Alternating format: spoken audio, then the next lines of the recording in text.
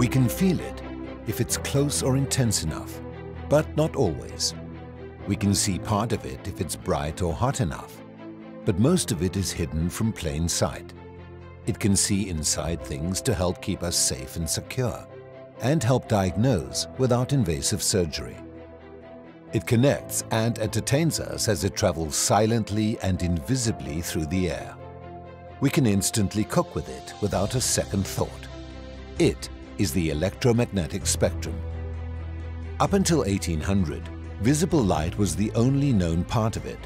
That's when astronomer Sir William Herschel discovered a whole new world of infrared radiation. In his observations of sunlight, Herschel experimented with colored filters and noticed each one passed a different amount of heat. So using a prism and thermometers with blackened bulbs, he compared the temperatures of the colors. Red measured the warmest, until he took the experiment one step further where no light existed. To his surprise, that reading was the highest and the dawn of infrared, the breakthrough discovery of the electromagnetic spectrum. Now, over 200 years later, technology has helped us harness it.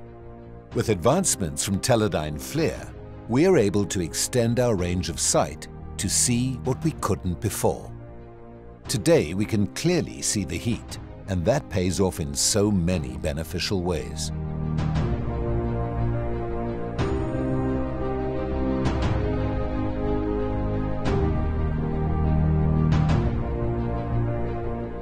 Infrared energy is heat that is transferred by electromagnetic waves. Radiation at wavelengths longer than what we can see with the naked eye. It's emitted by all objects, anything with a temperature above zero Kelvin. The warmer the object, the more radiation it emits. A thermal camera can see that radiated energy. Its thermal detector is sensitive only to infrared radiation, which is transferred through its specialized lens.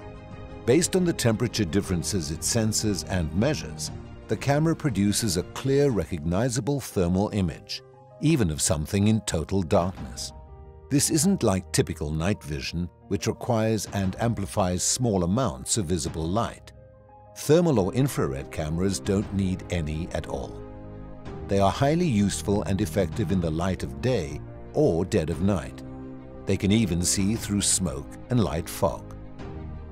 The ability of a thermal camera to detect and visualize heat in fine detail and from great distances depends on the type and sensitivity of its IR detector.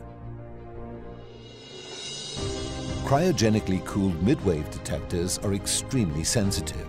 In fact, some can spot the heat of a suspect from up to 20 kilometers away. Gimbals that are also equipped with shortwave IR sensors can see the sparkle of a laser designator, rangefinder, and illuminator. Economical uncooled handheld cameras do an excellent job sensing long-wave radiation. Technicians use them to quickly see signs of overheating, which can help prevent unplanned shutdowns, while building experts can use them to find sources of energy loss, moisture, pests, and more. Many FLIR test meters even have simple built-in IR cameras to help locate problems that need verification.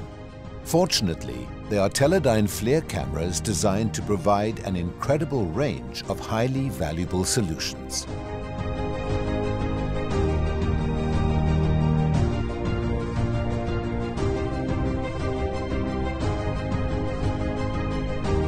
Just think of how far the world of infrared has come since Sir William Herschel discovered it, and all the rewarding ways that discovery can be used to improve our lives.